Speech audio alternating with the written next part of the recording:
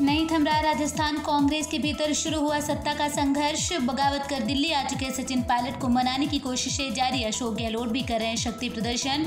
एक बार फिर जयपुर में कांग्रेस विधायक दल की हो रही बैठक।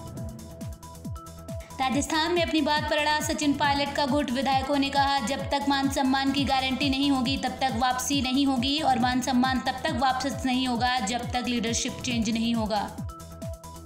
ईरान ने भारत को दिया एक और बड़ा झटका। ईरान ने चार बार रेल परियोजना से भारत को किया बाहर। कहा समझौते के चार साल बीत जाने के बाद भी भारत इस परियोजना के लिए फंड नहीं दे रहा है। देश में बढ़ता जा रहा कोरोना का प्रकोप। अब तक 9 लाख से ज़्यादा लोग संक्रमित। लगातार दूसरे दिन भी अट्ठाईस हज़ार से ज़्यादा नए मामले आए सामने। आज कोरोना से भारत में सबसे ज़्यादा हुई मौतें। बढ़ते कोरोना मामलों के बीच दिल्ली से आई अच्छी खबर। दिल्ली के सीएम अरविंद केजरीवाल ने कहा, राज्य में कोरोना के मामले हुए कम, लेकिन इसका मतलब ये नहीं कि हमें नियमों के पालन में कोताही बरतनी चाहिए। दिल्ली वासियों से ज़्यादा सावधानी बरतने की अपील की।